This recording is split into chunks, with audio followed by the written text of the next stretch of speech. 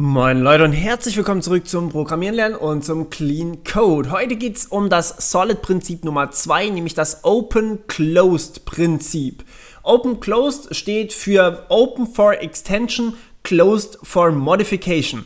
Das bedeutet so viel wie ähm, offen, also es kann weiter erweitert werden, aber es muss dazu nicht verändert werden. Das heißt, ich mache jetzt mal ein wunderbares Beispiel, hat nichts mit Klassen zu tun jetzt, ähm, ein bisschen was natürlich mit Klassen, klar. Aber was wir jetzt haben wollen, ist, wir bekommen zum Beispiel eine Liste an Shapes. Shape ist eine Klasse von uns. Wir sagen jetzt hier einfach mal Class Shape. Ähm, und irgendwas steht hier drin und wir haben die, äh, diverseste Unterklassen, sowas wie Kreis, Quader, von mir aus 2D und 3D Körper, alles Mögliche.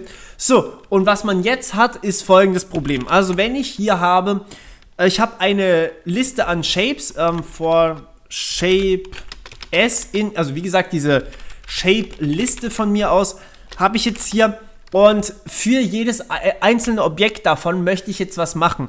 Und zum Beispiel, was gut wäre, also was wirklich ein sehr sinnvolles Konstrukt wäre, wäre einfach s.draw zu schreiben. Das bedeutet für mich, ich zeichne jedes einzelne Objekt äh, oder jede einzelne Shape, die ich in meiner Shape-Liste drin habe.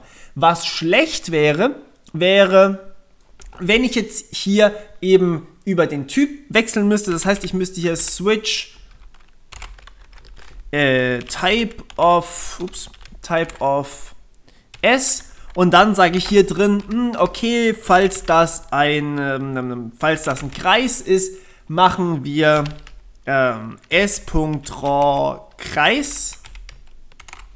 Ups. Falls es ein was auch immer ist, machen wir s.draw, irgendwas anderes halt.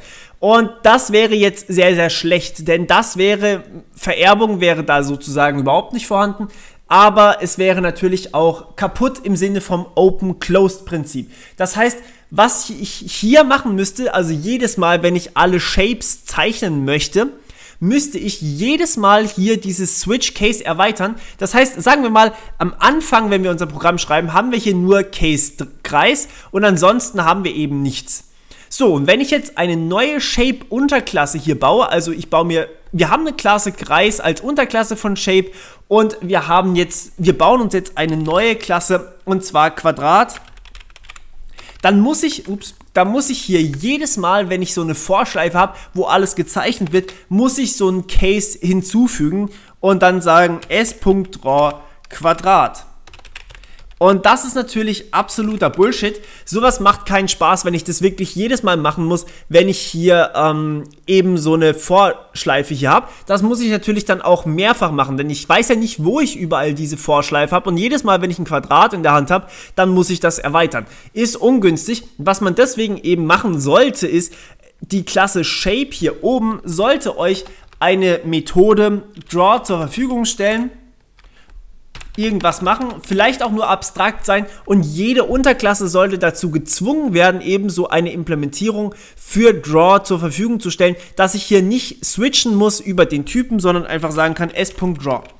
Und das bedeutet nämlich Open Closed. Wir können jetzt jedes Mal, wenn wir eine neue Shape reinmachen, haben wir überhaupt kein Problem, einfach eine neue Unterklasse von Shape erstellen und wir können sie wunderbar hier einbetten, einfach eine neue ähm, in diese Shapelist einfügen und sie wird automatisch überall gezeichnet.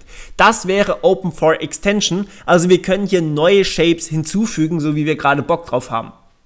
Closed for Modification bedeutet, ich muss diesen Code hier nicht anfassen. Also das Open for Extension besagt quasi, ich kann hier neue Shapes erstellen ohne Probleme. Und Closed for Modification besagt, ich muss diesen Code hier eben nicht modifizieren, wenn ich jetzt hier irgendwas neu gemacht habe. Das heißt, ich bin da schön fein raus. Es wird automatisch sozusagen gemacht. Und das ist eigentlich auch der Grund, warum man hier richtig schön viel mit Objektorientierung arbeiten sollte, immer damit eben diese Fälle hier wunderbar funktionieren und ich natürlich auch noch sehr viele neue Sachen machen kann.